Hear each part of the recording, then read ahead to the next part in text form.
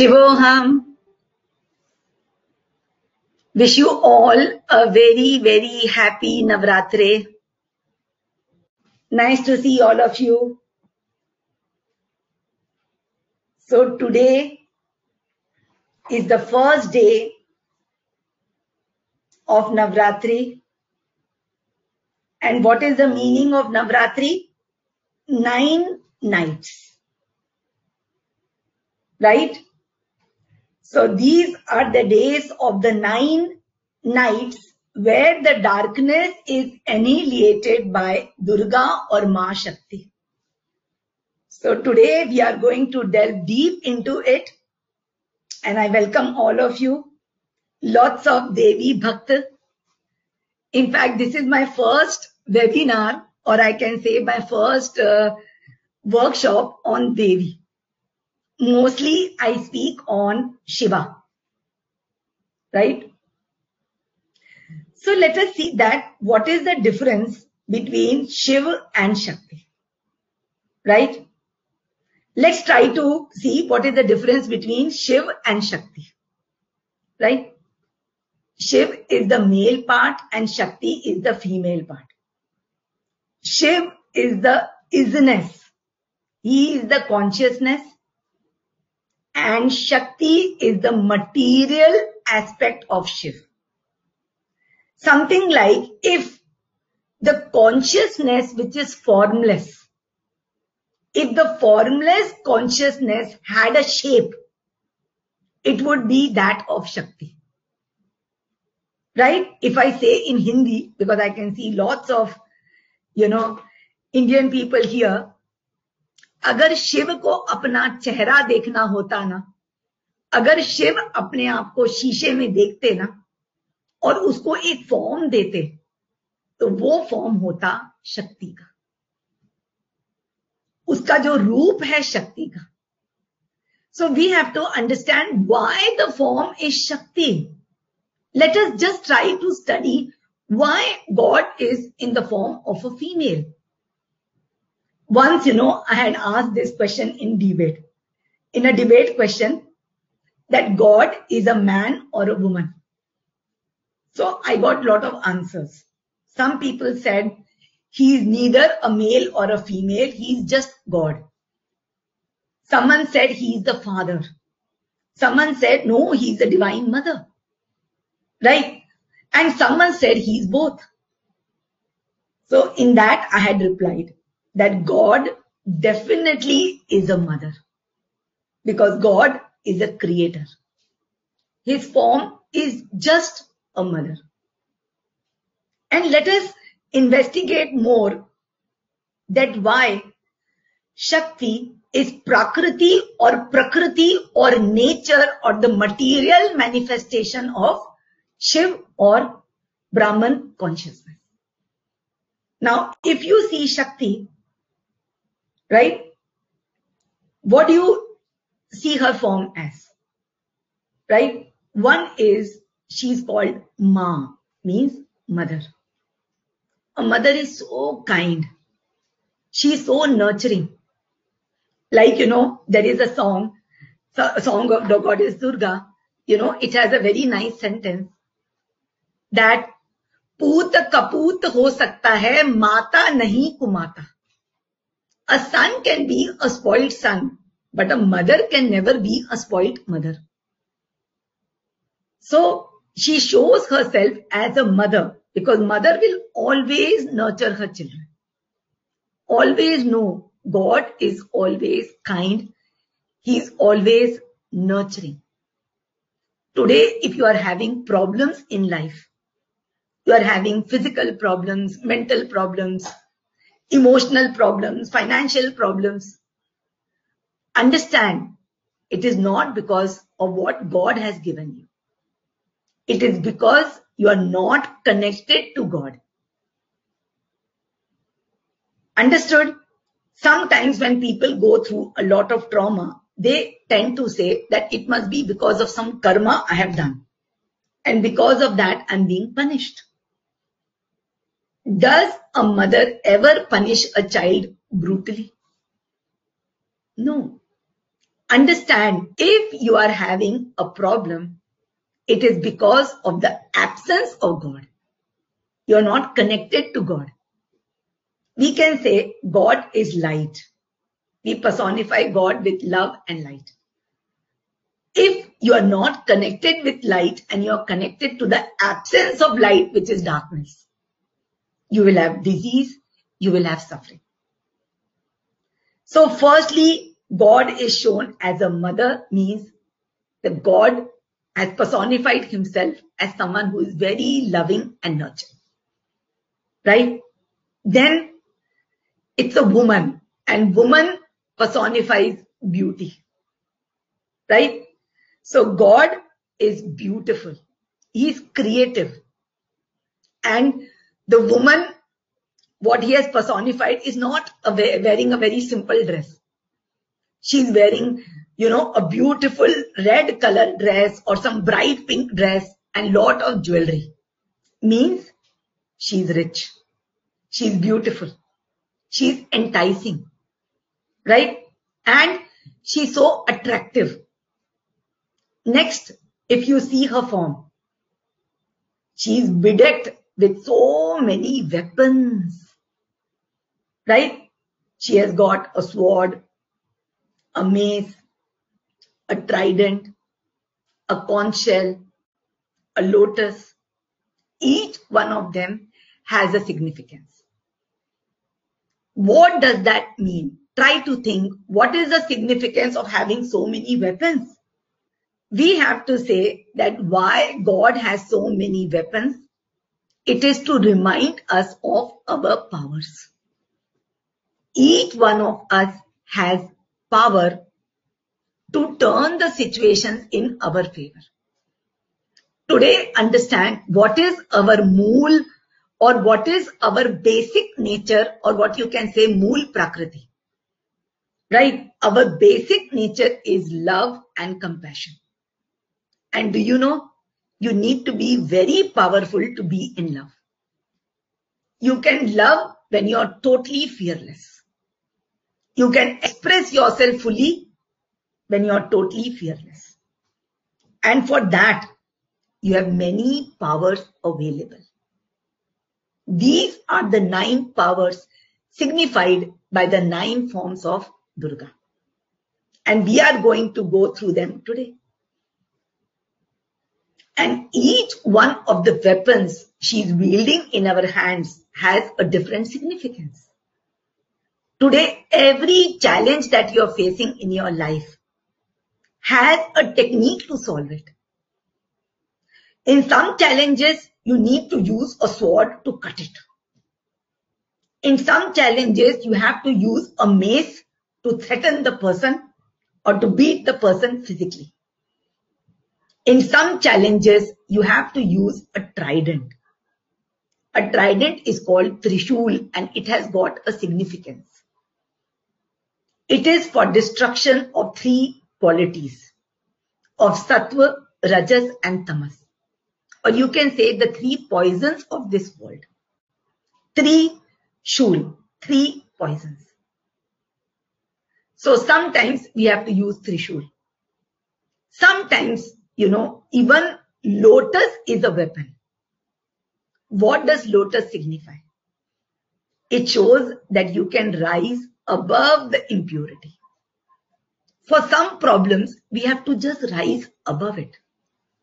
We don't have to really muck.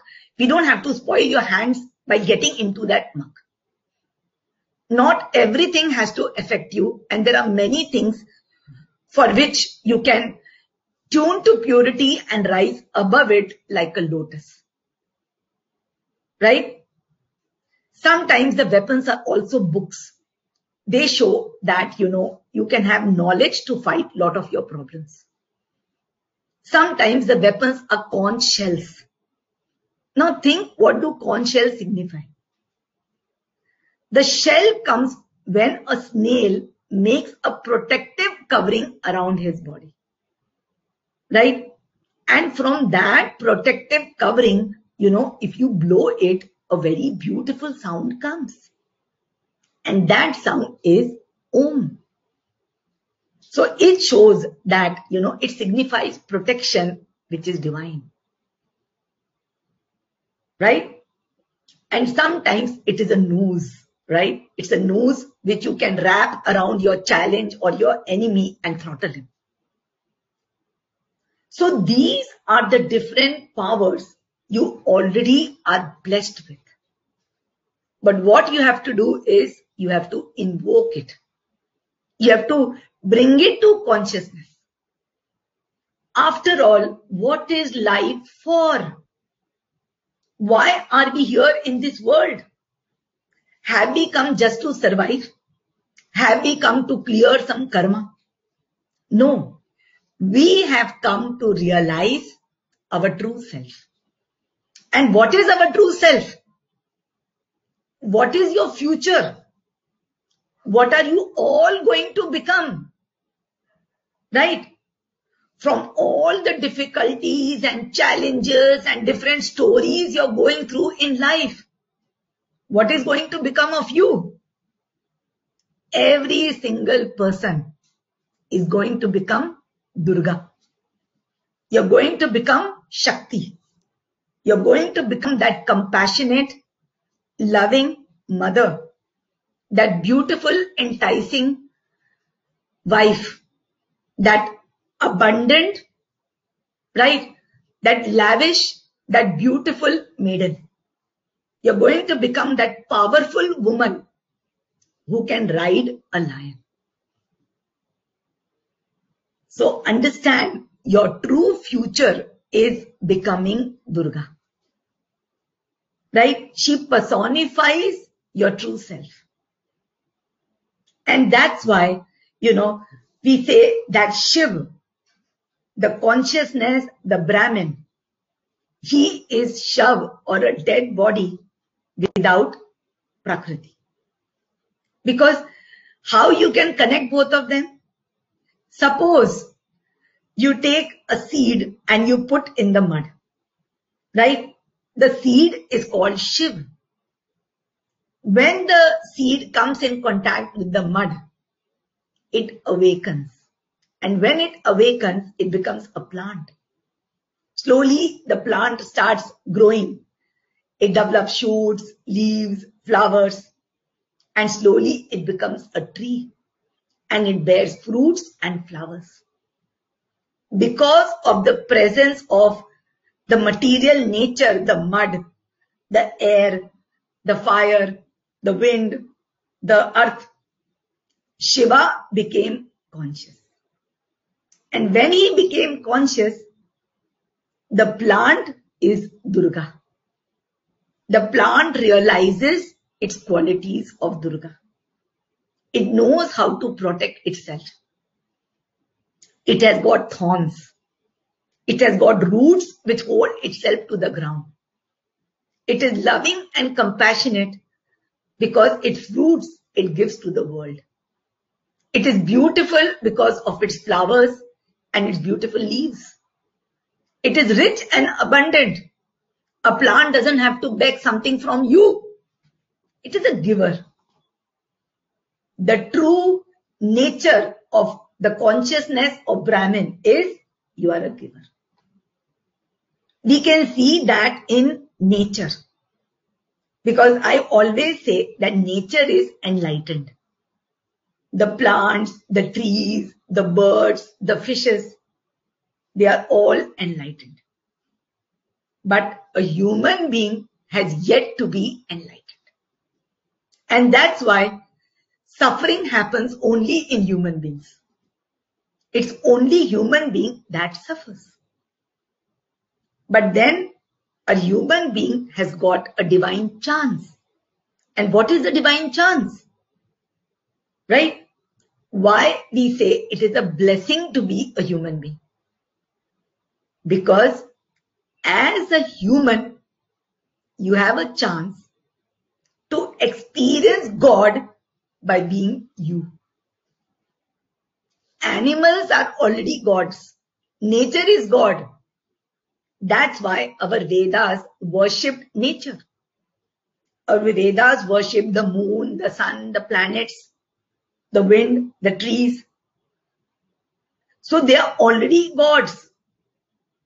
But the human being has got the chance to realize that he's God. And that's why a human birth is very precious. Always know nature of Prakriti is striving every millisecond to make you realize your true self. It is Durga or it is Shakti who is trying to make you realize your true self. Just like a mother continuously nurtures her child. For her, it is important that the child is eating all the time. He's eating properly. The child is well nurtured. The child is resting. The child is studying. The child is doing whatever is required of him. Same way, Durga or your material nature is continuously trying to nurture you. Can't you see that there is always a constant energy telling you when to eat, when to sleep, when to rest, when to do things? There is an energy inside you which always tells you what is right and what is wrong. Always, every single person knows what he wants to do and what he wants to become. No one has to tell you what is truth and what is false. No one has to tell you what you have to become. No one has to tell you what is your true nature. Even if you tell a small ignorant child the child can come on the stage and give the same lecture what I'm giving. A child can tell you that yes, it is very important. We should be truthful. We should be loving. We should be honest. We should be powerful. Right? A child can tell you all these things that I'm telling you. Because all of us know our true nature. Only thing what the child cannot tell you is how to go there right? So, as we were talking that it is Durga or your material nature or Shakti that is constantly making you realize your true self. Right? So, constantly, you know, she is like a mother goading the child to stand up when the child is crawling, the mother helps the child to stand up. Then she helps the child to read, write, talk, right? To walk, to stand up on his own feet. So constantly there is an energy inside you which is constantly making you connect to your true self. And finally, when you connect to your true self, you become her. So everyone's future is Durga. No matter how your life looks today. Today you can say, ma'am, my life looks so difficult. I don't have a proper job. I don't have good health. My relationships are going for a toss. It doesn't matter. Ultimately, everyone is going to go to the same place. Ultimately, everyone is going to become Durga. And Again, let us talk about what mainly Durga personifies. She personifies power. She personifies Shakti. Right? So why is power so important? Why God needs any power? Right? Let us come to this question that why God needs power. Because it is the power which makes the world go around. Only because of power you can transform things in your life. The power of a rose it's, is its beauty, is its fragrance, is it what it gives to the world. Every single thing in nature has got power. The power of sun is its light. Right? The power of, if you take a human being, the power of a singer is his singing. The power of a painter is his painting. The power of a teacher is his teaching. But what happens in human beings is you develop knowledge and you collect knowledge. But knowledge alone without power cannot be expressed. In order to express knowledge, you need power. Right? And it is power because of which negativity in life gets converted to positivity. Or you can say the darkness is annihilated and it becomes light. Or you can say the absence of God becomes God because of power. So God is power or God can be personified with power. As we learn the lessons of the chakras, because I connect everything with chakras because somehow I see everything through the lens of chakras.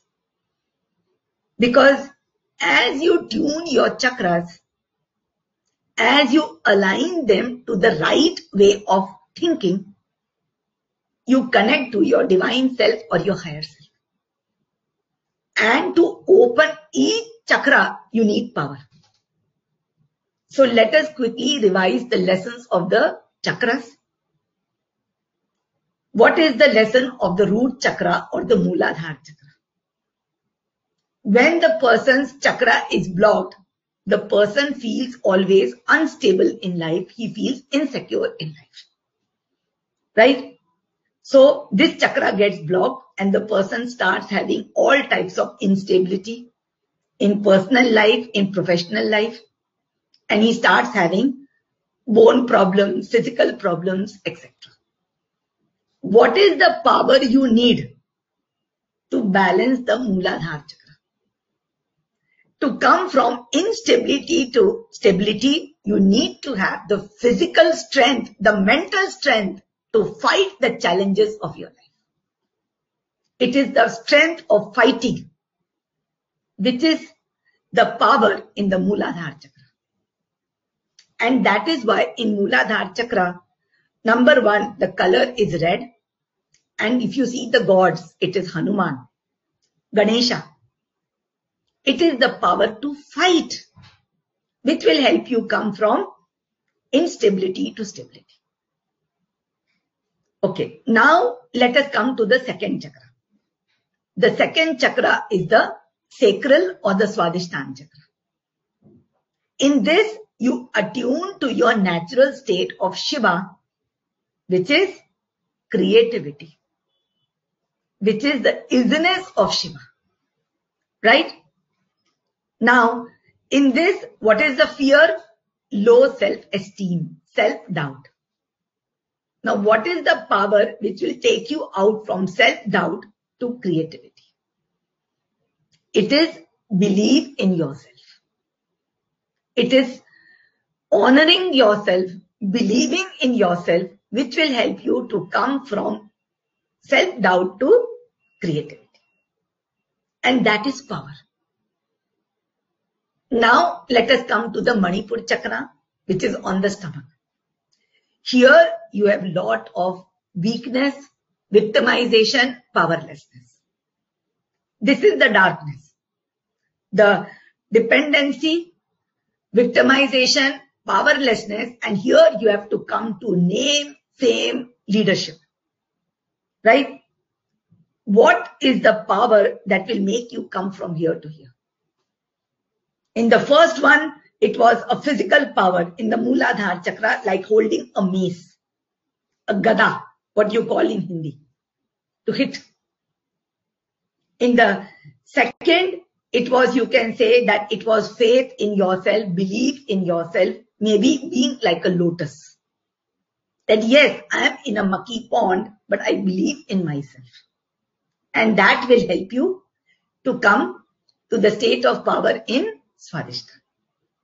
Now in Manipur chakra, what is the power? Which will help you come in this state. Right? What will help you come here? What is your power here? In this, we can say that the power here is the internal power of the sun that you have inside. Every person has got internal power and that is power of his knowledge. It comes by total independence. It comes because you're following dharma. It comes because you're following the truth. In this chakra, you can say that it can be personified, it can be personified by the god or riding a lion. A lion signifies dharma. Right? So, in this chakra, the power is the power of truth, power of dharma. When you do your duty, you have power. Your power comes from your duty, from your role play. If you are a mother, you have power over your child because you are a mother. You have power over your spouse because you are a spouse. You have power in your company because of the position you are holding. So your power is your role play. Is this clear? Don't you think it's very beautiful? That power comes from your role play. You will have power over your children and not someone else. You will have power over your spouse because you are a spouse. You have a power over your parents because you are a child. So power comes from your role play because you're following your dharma and that's why it is personified by a lion. Because lion just does his duty, right? He personifies the dharma of the kings. Now we come to the heart chakra. Here you have got lack of faith, mistrust, right? Disbelief. And you have to come to a state where you have to become a creator, right? What is the power you need to come from here to here? What is the power you need? Right? To come from a state of mistrust, fear, negativity, and to come to a state where you are flowing with creativity. Love. Yes, love is a power. Love is light. Yes, light is the power. Love is the power. You can change anything in your life because of love. It is love that can change everything. It is because of love, intelligence will flow in your life. Ultimately, in life, you have to become love. Right? And you can say that how can you personify or how can you symbolize love? Right? You can symbolize love as, you know, they symbolize love as a Sudarshan Chakra, the wheel. It is the wheel of intention. Whenever anything is thrown with the right intention, it always does its task and comes back right? And because your nature, your true nature is love. When you do anything with love, the intention is always the divine intention. And it goes and it fulfills and comes back. So whenever there is an abundance of love, there is light, there is forgiveness, and there is truth. So love is the power in this chakra and it is symbolized by a Sudarshan chakra. The right intent. If I want to clarify, because it can look a little confusing, that today when you do anything out of love, when love, when we talk of love, love is not attachment, love is not lust. Love is not some selfish need or a control. We are talking about genuine love. If your love is very genuine, you can see things very clearly. Everything will become so clear to you because there is no fear. And then your intention matches the divine intention. And when it matches the divine intention, it has to be fulfilled. That's why you must have noticed anything that you wanted because of love, whether it was that job, whether it was something you treasured or someone you treasured, because there was love, the intention matched the divine intention. Because love is God. Right? So the moment you tune to love, you tune to God and the intention matched. And that is Sudarshan Chakra. Right? So that is the power. Love is the power. Then we come to the throat chakra. In throat chakra, you have lots of definitions, lots of disparities which cloud the throat, right? Lots of what is good, what is bad, what is high, what is low, right? That's why this chakra is called Vishuddha chakra. The chakra where your Shuddhi happens, where purification happens, right? It is the chakra where, you know, the story of Samudra Manthan happened. Right? Let us go back to the story of Samudra Manthan. It was the demons and it was the gods, the divine devatas. Both of them were fighting for the nectar of immortality. So what they did was they churned the ocean. That who is going to become immortal? Whether your bad qualities or your good qualities. And then what happened was lots of things came out from the churning. Lots of good things and lot of bad things. The bad things usually went to the demons and the good things went to the devas. And finally, a poison came out. Before the nectar, a poison came out. Now, the demons also refused to have it. The devatas also refused to have it. Then why should we have the poison? right? Then it was Lord Shiva or the Brahman consciousness. He said, I have the power to drink the poison. And he held it here. And when he held it here, his throat became blue, showing that even the poison is a decoration for God. For the divine, there is nothing called poison. Even that is his decoration. He is so much full of compassion, so much full of love that even a negativity, you know, is a decoration for him. So in this chakra, you know, what happens is lot of definitions are there. What is good, what is bad, what is low, what is high. And finally, you have to come to a state of purification. Isness. Right? So how can you come to a state of isness? When you destroy the definitions, all the definitions are destroyed. Right? So what is the power in this chakra? It is the destruction of the illusion, destruction of definition.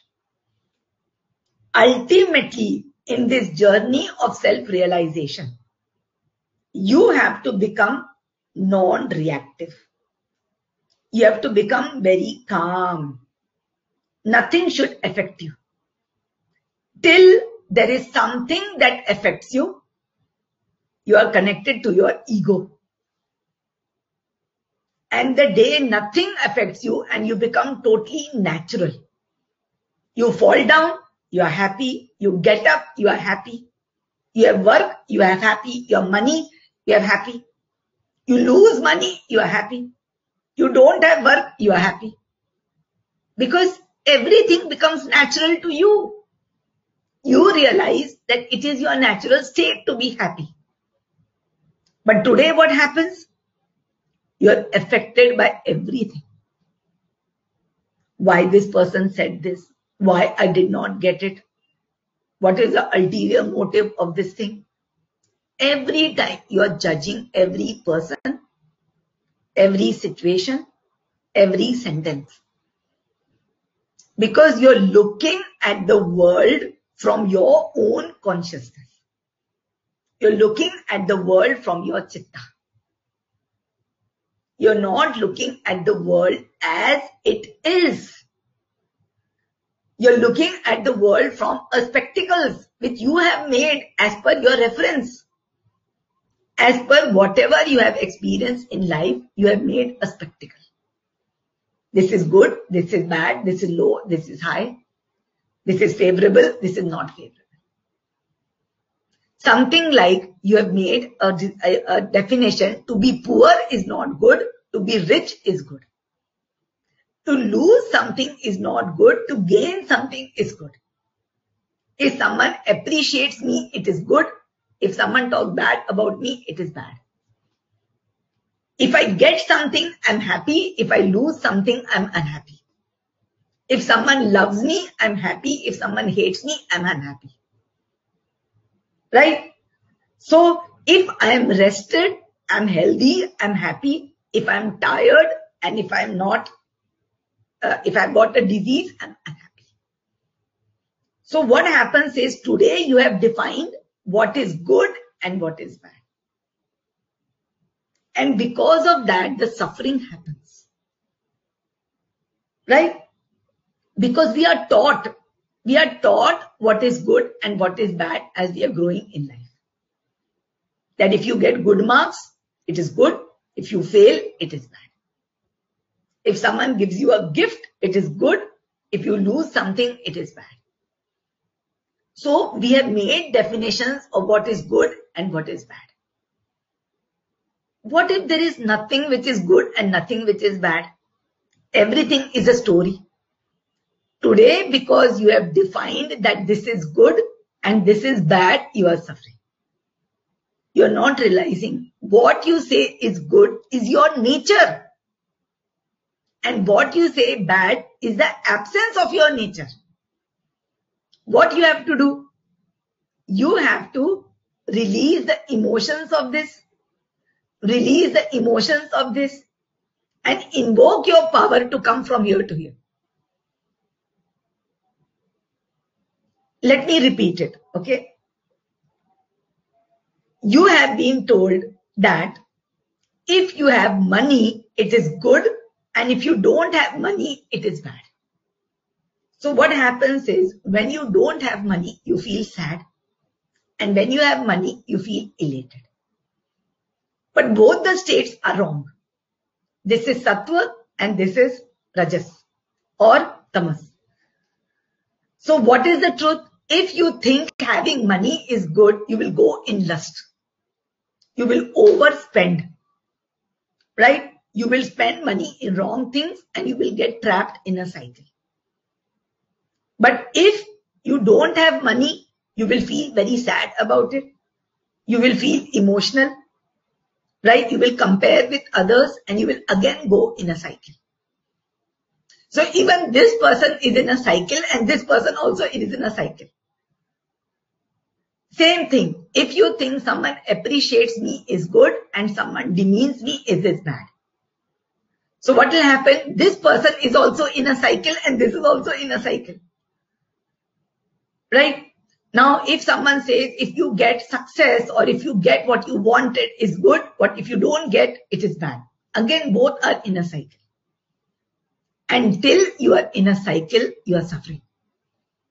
So what is the truth?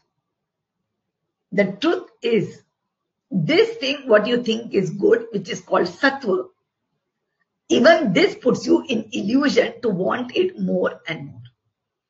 But because you are in illusion to want it, you will get controlled by it. You will fear losing it. And if you lose it, it will cause you suffering. Right?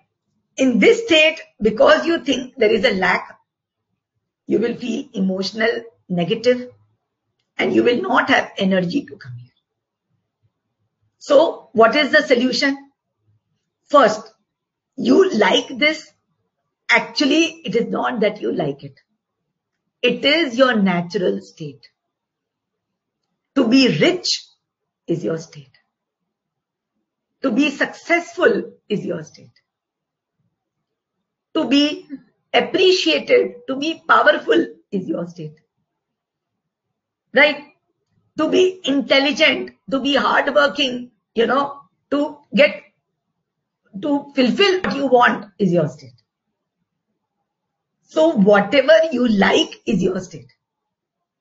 The day you tune that it is my state, you will not come down. You will realize it is a natural state. It is just my state. Right? So how you are saying how to attune to it? You have to meditate on the emotions connected to this and remove them. It has to become natural.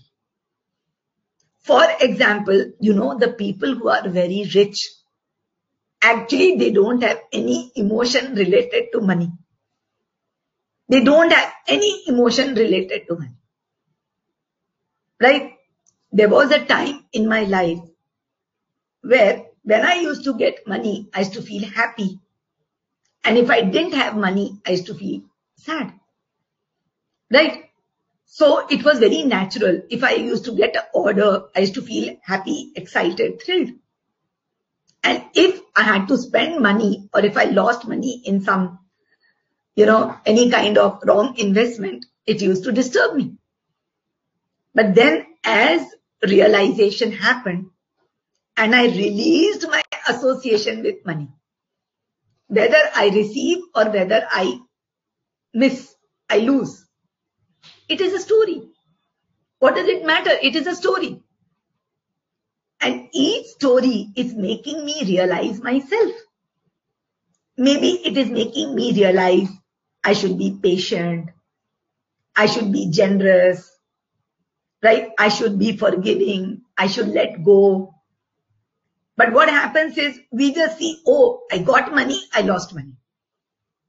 So the day I removed my association with money, that getting it or losing it, it doesn't make a difference. It's a story. And then what happened? Money starts flowing like water. It starts flowing the way you breathe. It becomes natural to your existence. It, it just becomes so natural. You don't have to think about it.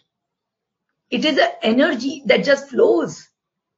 Like Lakshmi, you know, how the gold coins fall off her hands. Open hands. So what you have to do is in both the states of sattva or rajas, you have to remove the emotions and when you come to your natural state, you will get fixed here. You will get fixed here. Now no one can move you. The day you become stable, nothing can make you unstable. The day you become stable, whether it is pandemic, whether there is a recession, it doesn't matter, you will be stable. In health, you will be stable. In family life, you will be stable. In finances, you will be stable. Because it is your nature to be stable. Similarly, harmonious, right? Once you tune to harmony, it doesn't matter. Relation can come, relation can go. Right? But you will always be harmonious in life. It's a story. You will see that harmony in all your relationships. Everything else is a story. Similarly, when you tune to power in the Manipur chakra, right, it will become your natural state. Everywhere you will see power coming to you. When you tune to love, it will become your natural state.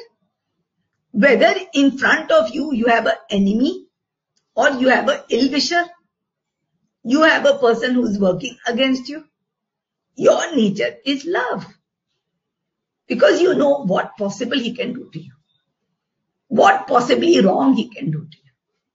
Because your nature will become love. And when you it becomes love, right? When your nature becomes love, you have everything to give and you have nothing to lose.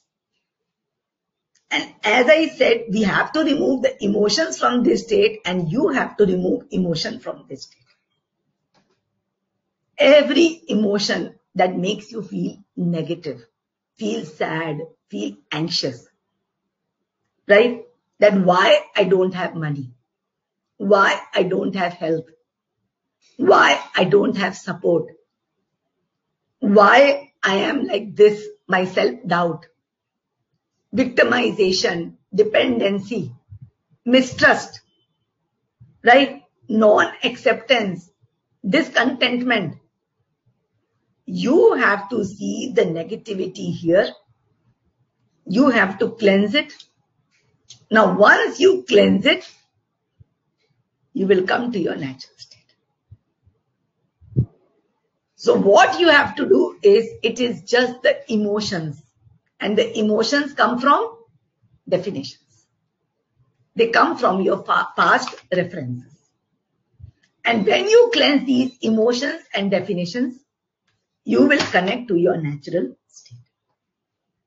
And that is what is life all about. So in Vishuddha Chakra, we remove this disparity. Because we realize that every single story in life is happening to reveal you. You are behind the curtain and every story is revealing you. Oh, I'm stable. Oh, I'm creative. Oh, I'm powerful. Oh, I let go. You realize about yourself, my nature is to let go. My nature is to forgive. My nature is to detach. My nature is to rise above. My nature is patience. My nature is compassion. My nature is knowingness. My nature is intelligence. My nature is power. So every single story of life is finally revealing you. It is like, you know, you are the beautiful idol behind the curtain and every single story is slowly, slowly opening the curtain. And when they totally open the curtain, who is behind? Durga. She is the Durga sitting on the lion with 10 hands and 10 weapons. And why a female? Because traditionally it is thought that female is weak. But ultimately she rises up and makes you realize how powerful she is. And she is a mother who is loving yet powerful. So you have to realize that life is not about the stories you are living. I repeat this sentence. Life is not about the stories you are living. Life is about what is becoming of you because of the stories. It is not the story of your life. Like if you see the story of Lord Ram in Ramayana, don't see the nitty gritty of the story. That, you know, he had a stepmother, you know, she had a promise to his father. So he was sent to exile for 14 years. Then someone came and took away his wife. Then he had to fight. Don't see the story. See the Ram that came out of the story. See the Lord Ram who came out of the story. Powerful, compassionate, follower of Dharma. Right? The one who always followed righteous duty, righteous path. When it was time for him to become a king, his father was made to realize or his father, you know, had to remember his promise to his stepmother that, you know, she can ask a boon. So he was forced to go to the jungle. At that time, he had to follow his father's promise. So he understood, he followed the dharma of a son. Okay. So it is the story of Dharma. That that time his father was the king, so he had to listen to the father. When his wife was abducted, he had to follow the dharma of a husband and get his wife back. When he got his wife back, he wanted to follow the dharma of a man. That I want to see my wife is untouched. So she was made to go through a fire. Then when he came back with his wife to the kingdom, Ayodhya, there, what happened was the people in the kingdom were not ready to accept her. They were not ready to accept her. That how can we accept her? She has lived with some other man. So being a king, his duty to his subjects was of paramount importance. So what he did, he sent the same wife back again to the jungle. Again, that was dharma, which was correct at that time. Bigger than the dharma of being a husband is dharma of being a king. And when the wife got children, when the twins were born, he did his duty as a father and he got the children back to his kingdom. So he did all the duties of a son, of a husband, of a man, of a king, of a father. So don't see the stories. See the person who came out of the story. And that is what is life all about. No one is going to see what is going, what, what did you do in your daily routine. Like if you see the big, big, the enlightened souls, you see the story of Jesus. You are not concerned with his friends or what all he did. You are concerned with his message. When you see the story of Krishna, you know, you just see the message. Any enlightened soul finally just gives the light. Don't see what all he went through, what all difficulties he went through. See what became of him because of the difficulties. Today, you know, in your company, you you were told to play the role of Romeo you know, Romeo and Juliet, right? So you are playing the role of Romeo in your company. There is a play and you're playing the role, right? So when you're playing the role, right, you will enact the role, right? You will enact your romance with Juliet. You will enact every single drama of that role. But you know it is a role, yes or no? And you are thoroughly enjoying playing the role. Right? So you're enjoying playing the role, but you know you're not the role. So when you have to, you know, be separated from her, you're crying. When the people are trying to kill you, you know, you are showing that you are afraid. But ultimately, inside what is there? Inside you are happy. You know it's a role. So the question is not that we have to feel happy or sad or neither happy nor sad when you meditate and you cleanse yourself, you will ultimately connect to that inner core of yours, which is always happy, which is always very blissful, which is always in love. Like if you see in Mahabharata, Krishna is God, right? So he is a personification of love, bliss, everything he is the one who ordered uh, Arjun to lift the weapons and fight. And he is the one who told him, okay, kill him, do this, do that. But it's not that he's all the time smiling, but he gave instructions, but inside he's joyful. So it doesn't mean that when you are in love, you will not kill. It's not that when you are in love, you will not destroy, you will not attack, you will not bring the enemy to his knees. But you will do it out of your duty, out of your nature. You will not do it out of anger, hatred, emotions. Today, how things affect you. Because you are affected, because you think it is real. You are not seeing that it is a story which has to connect you to your natural state and your natural state is never affected. It is never affected. If you lose your job and you think that because of this, my family can be affected. If you connect to your nature, which is always supported, not a single day will go without food on your plate. Because it is the duty of life to connect you to that state. Because life is a mother. The day you are connected to that state, you will never lose your job, or if you lose, you will have another job. If you connect to your state of abundance, you can lose money in the outer world, but you will have abundance in your life. If you connect to your natural state of harmony, you will have separations.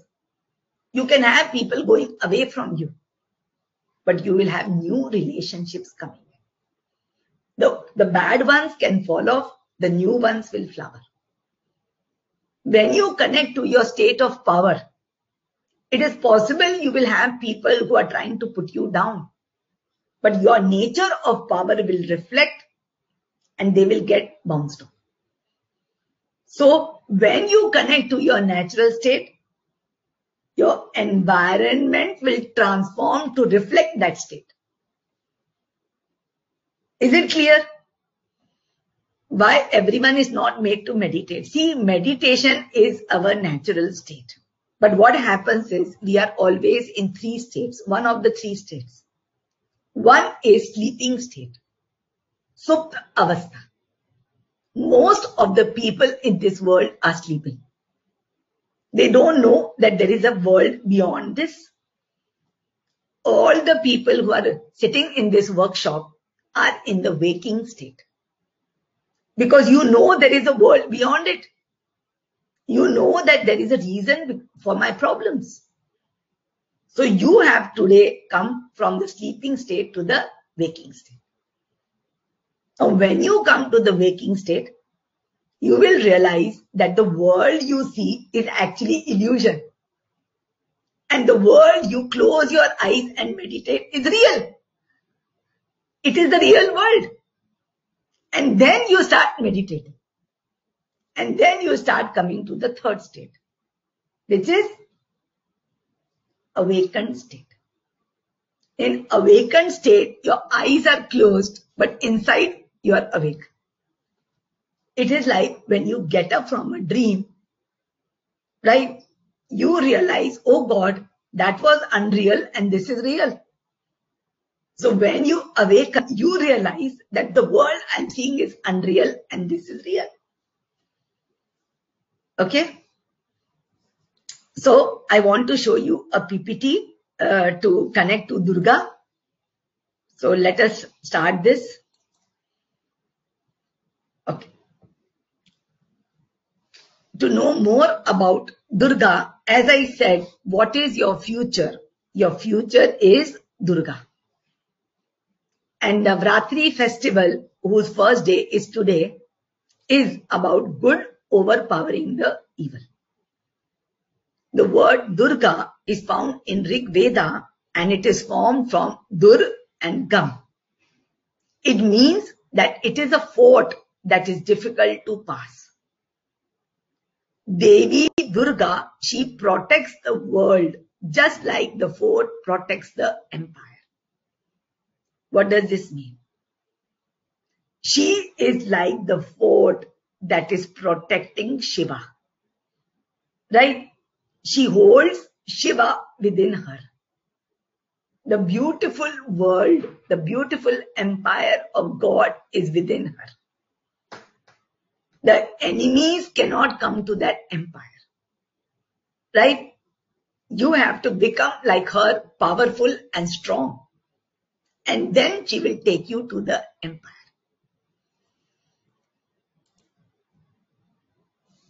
The chapters 81 to 93 in the Markandeya Puran, they talk about the slaying of demon Mahishasur by Durga and this is referred as Devi Mahatmya. They all talk about the demon Mahishasur whom she killed. And that's why she became Durga and she is called Mahishasur Mardini. Now, Devi Mahatmya, it extols the greatness of Durga in 700 hymns. And that's why it is called Durga Sapta Shati. Sapta is 7, Shati is 100. It details the exploits of the goddess in her three major forms, Kali, Lakshmi and Saraswati. All the three goddesses are the forms of Durga. On the first three nights of Navratri, she takes the form of Kali. Now let us see this form of Kali. Okay. Can you see her ten hands? Can you see the garland of skulls on her? Can you see that she's holding, you know, on her waist? She has got fingers of dead people. Can you see in her hand she has got a Asura neck? But can you also see that Shiva is below her? What is this? What does this show?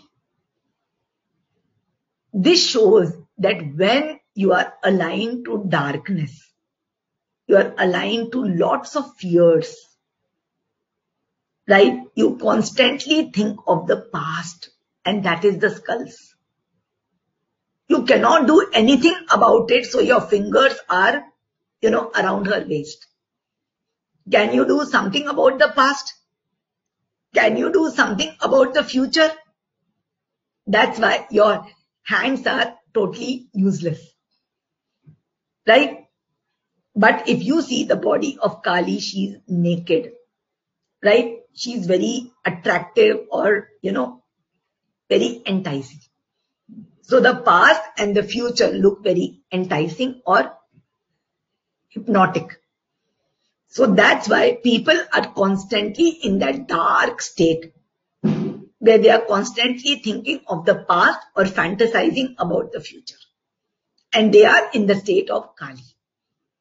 They are fearful, but yet they are mesmerized and they are in the hypnotic state of attraction. And in that state, Shiva is not visible. In that state, the soul, the Shiva, is not visible because she has trodden over him. And that is the state of Kali.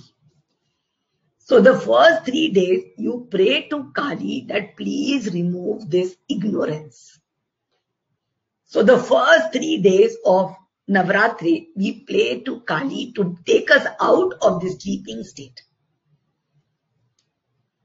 After that, the next three nights, okay, it's called Navratri because the nights means darkness of ignorance. On the succeeding three nights, it is the creative aspect of Lakshmi that is adored. Now let us see Lakshmi. Now, if you see Lakshmi, she is sitting on a lotus means pristine purity you have to rise above the muck of this world. If you stay in this world, you will be fighting with it. My husband, my children, my job, my friends, my health. You have to come above it. No pleasure, no pain. Come above it. Right? And connect to your true intention of this birth, which is Lakshmi. She takes you to your true intention. And your true intention is very prosperous, which is very abundant. Right? You connect to Lakshmi. And see the two elephants which are, who are throwing water or in this picture they are throwing garlands. Means there is nothing of the past. Elephant throwing water or throwing garlands means you're washing away the past. Because elephants are connected to memory. Memory. Elephant never forgets. So when you come in the present and you get connected to your true intention of this birth, which is self-realization, you are blessed with abundance, purity, Lakshmi. Then after that, the three nights the last three nights is the purity of knowledge or Saraswati, who is invoked. Now let us see Saraswati. Can you see the beautiful instrument Veena in her hand? Right? It shows how melodious everything is in perfect symmetry. She has got the swan as her vehicle And you know what is this swan called? It is called Mrik Shira. This swan has got the power that if you make it drink milk plus water, it will just drink the milk.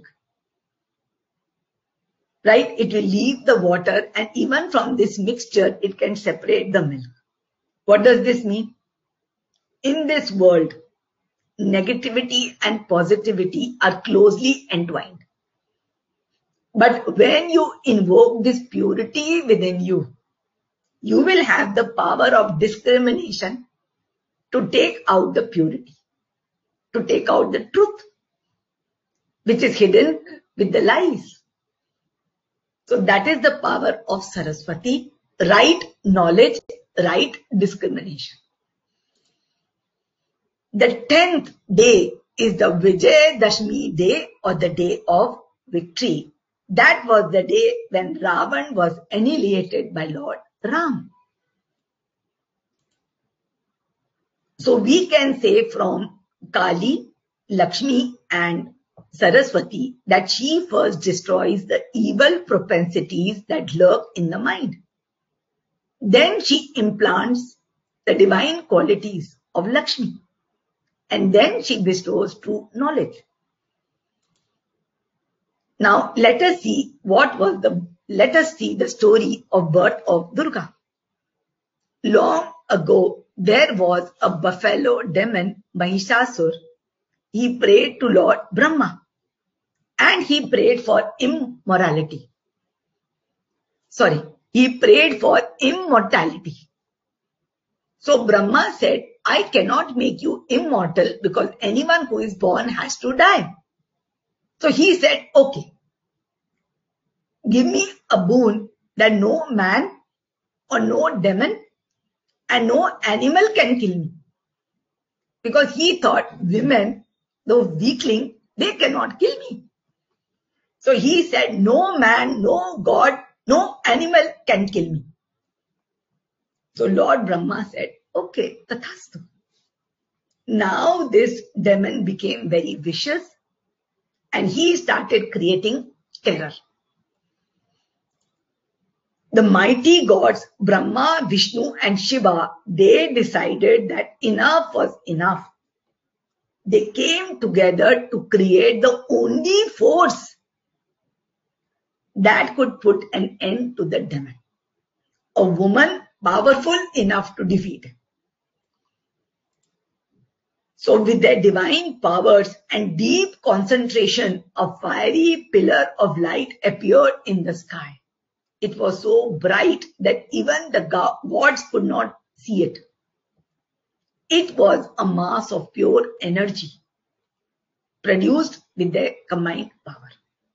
And Durga was born. Shiva created her face.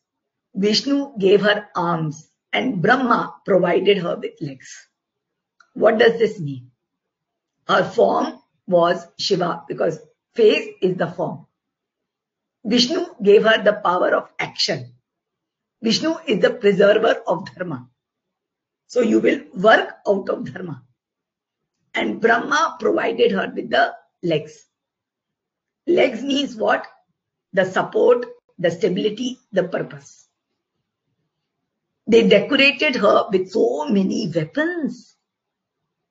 Shiva gave the trident, Vishnu gave the discus, Varuna the conch, Agni the spear, Yam the cudgel, Vayu the bow, Surya arrows, Indra Vajra, Kuber the mace, Brahma the water pot.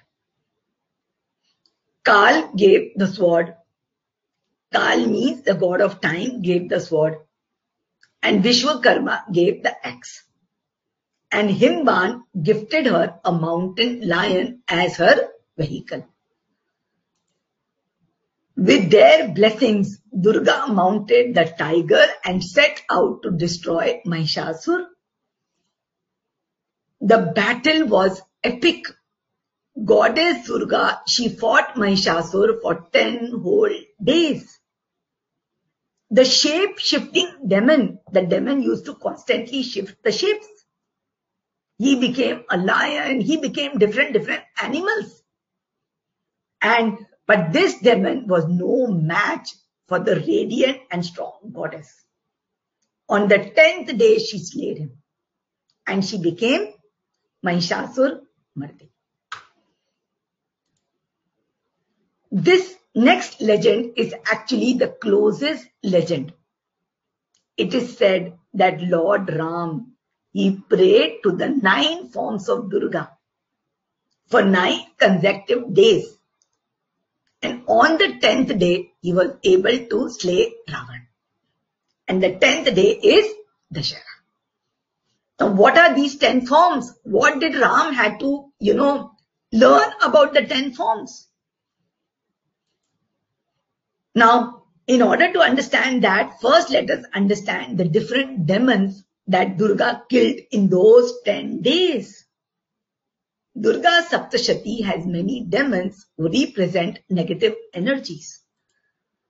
The first one are Madhu and Katab. Now, Madhu means honey, which are attachment to pleasures, and Katab is attachment to suffering. Or you can say that today our life is either pleasure or it is pain. But both these feelings are wrong and you have to come out of it. Right? You cannot go after feelings of lust, laziness, right? Uh, spiteful words, hatred, right? And that is kata. So you cannot go for negative things also and you cannot go for positive things also and that is Madhu and Kata. After that, she killed Mahishasur. And what is Mahishasur? It is the buffalo. It is the body-based ego of tamasic arrogance that makes us disregard everything that gets in our way. And that is Mahishasur. Third is Chanda and Munda. And Chanda and Munda, they represent Pravritti and Nivritti means wanting to work and not wanting to work. See, ultimately, we have to come out of karma. You have to realize there is nothing you do and nothing you can stop yourself from doing. Things happen through you. You are just a witness. Everything today, even if you are sitting and watching this webinar, there is an energy which made you come here, energy which is listening, energy which is learning. Right? The day you connect to that energy, you come to a state of Nishkam Karma. After that, Rakta Bij. Now, Rakta Bij was a demon. Every time you killed him or you tried to hit him, you know, every time a drop of blood used to fall, two demons used to come. And it used to multiply. Right? So he was a demon which was very difficult to kill because every time you hurt him, more demons used to come. Now Raktabij represents your desires and thoughts. Every time you have a desire, you think if I finish it, right, I will be happy. From that desire, two more will come. Right? You think that once my child is married, I will be satisfied. Then you will start wanting that my child should be happy also and she should have children also. Every time you think, once I get a good job, I'm happy. Then you will have two more desires. No, I should get promotion also and I should get lots of money also. So every desire gives birth to two more. Every thought gives birth to two more. So only way to remove them from multiplying is to realize that the desire itself is an illusion. It is not a truth. You can never be fulfilled of a desire. It is like a fire. A fire never says, I'm satisfied, don't stop putting things into me. Every time you have a desire, it will multiply. So only way to stop it is not to stop the desire, not to curb it. To destroy the illusion, there is nothing called desire. A desire is nothing but separation from your natural state. How can you have desire when you are everything?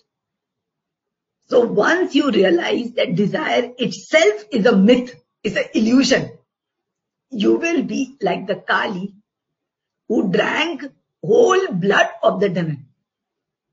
Right? She drank the complete blood of the demon, so there was nothing left to multiply. So she killed Raktabij. Then there were two more demons, Shumbha and Nishumbha, which represent the pride, arrogance, and they were punished for their lust. Thus, goddess Durga took various avatars like Mahakali, Chandi, Chamunda, and Amba and killed various demons. now, it is very interesting, which I thought I should tell you, that why this demon was a buffalo. Like, why buffalo is, is like a beast. Because we think, we never think of buffaloes like bad creatures. So, if you just look at this buffalo, see, there is a difference between cow and buffalo. Right? A cow is white and she gives milk. A buffalo is black and also gives milk. But something very important you should know. The buffalo stands for an animal which signifies stupidity laziness, thick-skinned and emotionless. A cow is so kind. She's so compassionate. A cow is worshipped, not a buffalo. A buffalo is a savage beast. It has a gross body.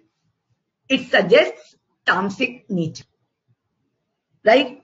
You will see buffaloes walking in the night on the negative side, it represents tamas, delusion, ignorance, lust, demonic power, and brute.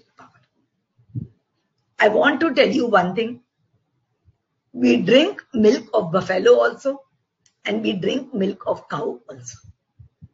Right? But buffalo milk always makes you lazy and fat.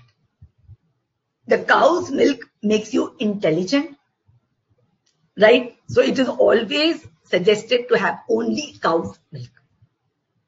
The buffalo milk is good for making cheese and making tamasic things.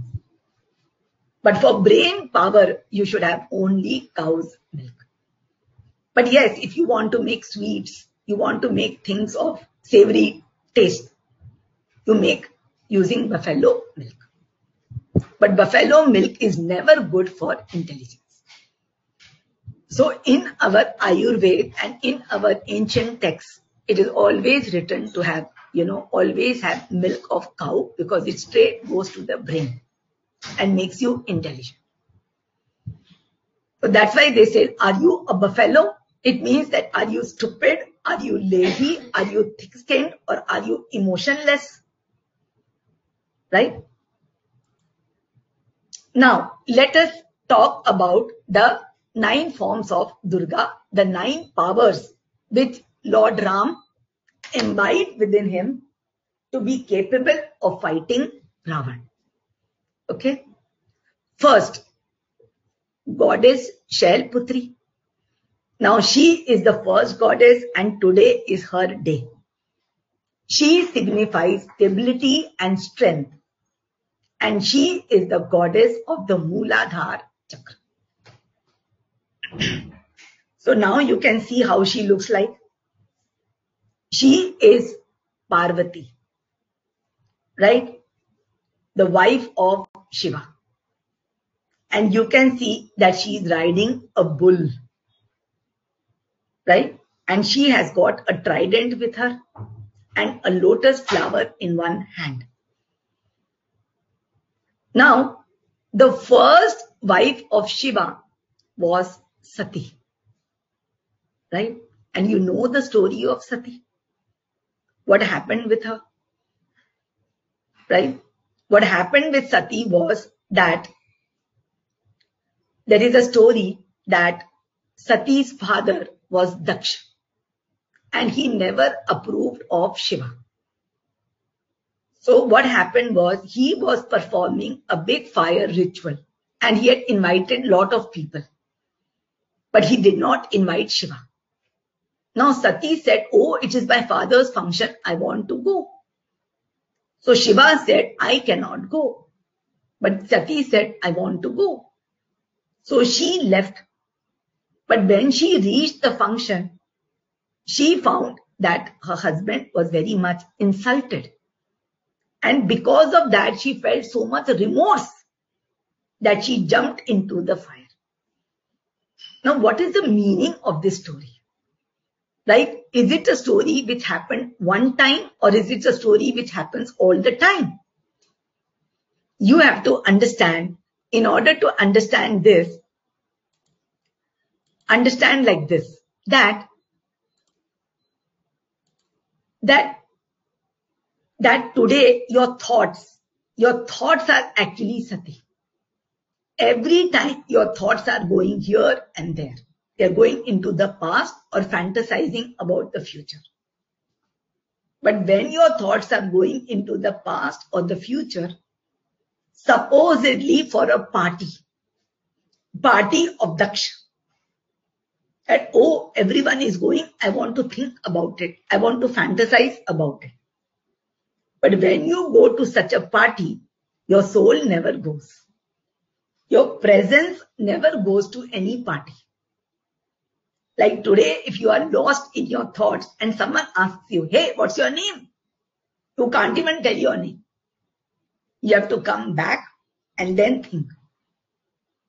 So whenever your thoughts are going into a party, Shiva, the soul never comes. And then the thoughts realize, oh, what am I doing? They destroy themselves there. And that is sati. Now what happens is, when you progress in your path of spiritual realization, you have to harness your thoughts. You have to make them stable. You have to make them fixed. You can say stable like a mountain. Right? And that is Shail Putri daughter of mountain, daughter of Himalaya, Shail Putri, Parvati. That was the second wife of Shiva. The first wife was thoughts which got destroyed. The second wife came up with the resolve, no, I am going to continue and I am going to connect to my husband.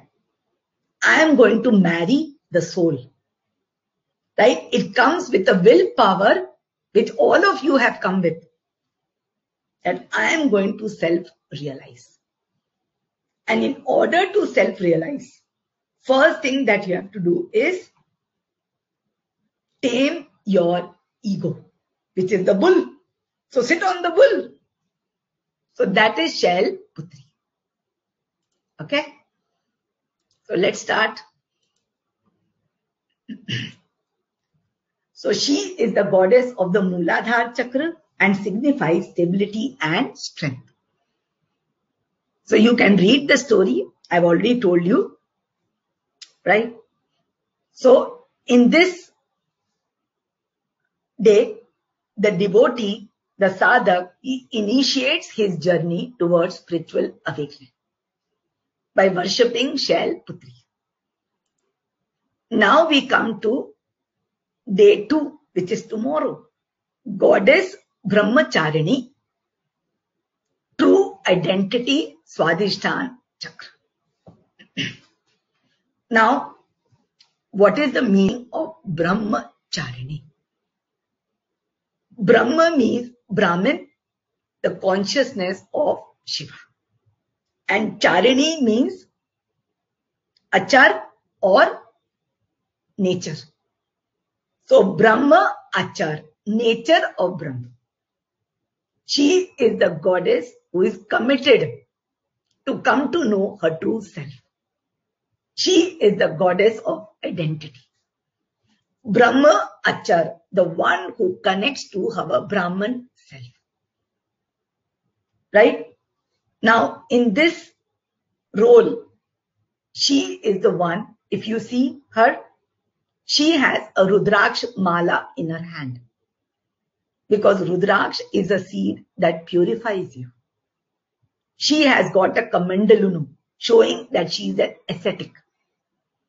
She is committed to this path. And you see her feet are bare feet. Now she is the one who carries out intense tapas, intense meditation to find her true self. Lot of stories are told about her that how she survived on meager food. Right? Today in this journey of self-realization, you will go through lots and lots of problems. Lots and lots of challenges. But today you are Brahmacharini. You have decided to face them. You have decided to marry Shiva. She is the Sati. She is the Parvati who did penance of several thousand years. For more than 5,000 years, she did penance to marry Shiva. So today, this is not your first birth. You have taken many, many births and you're getting purified in each birth. Right? And you have decided to ultimately connect to your true nature. So in this state, you are that unmarried maiden who is doing penance to connect to her higher self. So Brahma means Brahman and Charini means whose achar behavior is that. So lot of penance she did. She spent thousands of years only on fruits, beetroots, leafy vegetables. She suffered tormenting of nature like torrential rains, scorching sun and biting cold. She lived on dry bilva leaves which had fallen on the ground. Right? She went even without food and water. This is the kind of penance you have to do when you're walking on this path. Because you have decided to honor yourself and connect to faith. That ultimately the idol that will be revealed will be me. Then we come to the third day, the day of goddess Chandra Ghanta, who is the goddess of power and Manipur chakra. Now let us admire her beauty. Can you see she is riding on lion, which stands for dharma, the truth. Because dharma gives you power. You can see so many divine weapons in her hand. And she has got a moon on her forehead. She is the Parvati who finally married Shiva, who finally connected herself with her life purpose. And they say that when, when Shiva came to marry Parvati, Parvati's mother on seeing Shiva fainted. That my God, what a kind of person he is. He had ashes on his body. He had snake around his neck. All the people around him were all types of, you know, uh, small demons.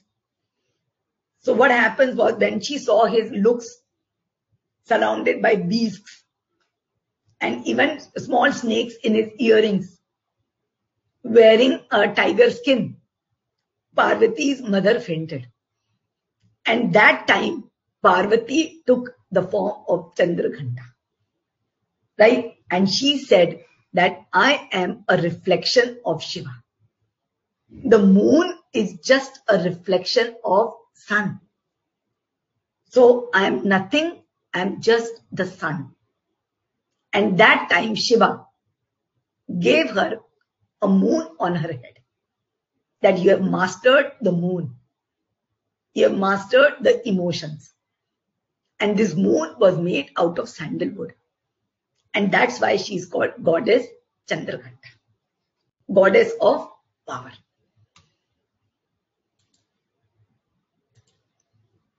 Then we come to the fourth goddess, the fourth power that Lord Ram imbibed within him in his war against Ravan. She is Ma Kushmanda, the creator, the goddess of the Anahat Chakra. Now, the name Kushmanda. Kush means small, energy, because Ush is Ushna or energy, and Anda is egg. She represents the energy of the cosmic egg.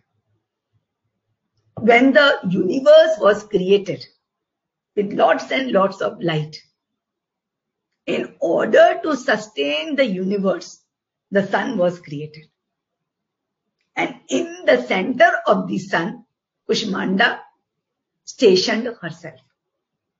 She is the energy of the sun. She resides in the heart. Now you see heart. Who pumps the heart? Who pumps the heart? Heart pumps everything, but who pumps the heart? It is the energy of sun, Kushmanda. The heart is continuously pumping in your body. Continuously pumping. Continuously pushing blood into your cells. Every single cell. Taking breath in, throwing out the polluted breath. Constantly the heart is pumping. Right? At the core center of the heart is goddess Kushmanda. The goddess of energy, the cosmic egg. The goddess of primordial creation.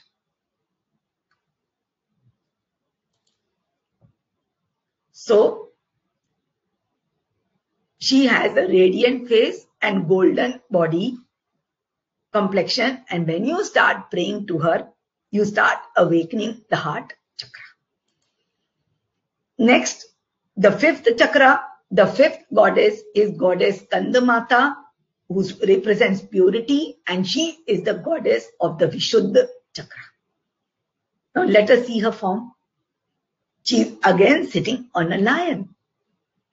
And who is on her lap? It is the six-headed Skanda or Lord Kartikeya, the god of senses. Because she says, I have mastered the senses. Because as we discussed, you cannot cross the Vishuddha chakra of purity till you have mastered the senses till you go beyond the senses, beyond the sensory definitions of what is right and what is wrong. So Goddess Skandamata gives you that emotional willpower, that emotional control to rise to purity. So if we read about her, she personifies truth and purity. Now, it is said that when all the devas, the deities, they were tired and tormented from the domination of Tarakasur, a demon, Kartikeya or mastery over the senses was the only Almighty who could demolish the devil Tarakasur. She mesmerizes the worshippers with her peace, knowledge, tranquility and purity. By offering invocation to her, worshippers can move towards undiluted thoughts. She shows the direction towards nirvana or moksha. Then we come to the sixth goddess, goddess Katyayani, who represent mental power or the third eye chakra. Now here you see she is riding a lion and what does she have in her hand? a sword because it is the sword that destroys time, kala. today you have so many doubts because of the illusion of time. Because you think there is something called past and something called future. What if there is no concept of time at all? What if you are just evolving? Like a seed went into the mud, became a plant, became a tree. It is a process. But because you think of time, you worry about the future. You think about the past. But once you realize there is nothing called past, nothing called future. It is, it is evolution of a story. And the story has got no purpose if you go back. So she is the one who destroys the concept of time. She gives instant results and her devotees get freedom from all troubles and sufferings in life. She is known to kill the fears in the form of demons and sinners. She is also prayed to for fulfillment of desires and also she is called the goddess of marriage. Because marriage is another union. And today, why people have problems getting married or fulfilling their desires? Because they are full of definitions. They are full of definitions. My husband should be like this. My wife should not be like this. My job should be like this. It should not be like this. I want a house like this, not like this.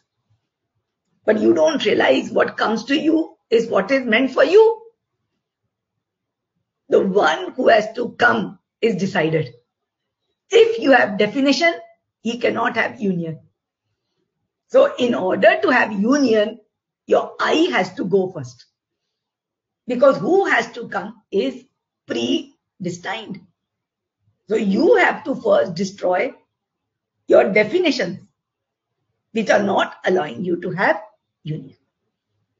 So she's prayed to for fulfillment of desires and also marriage.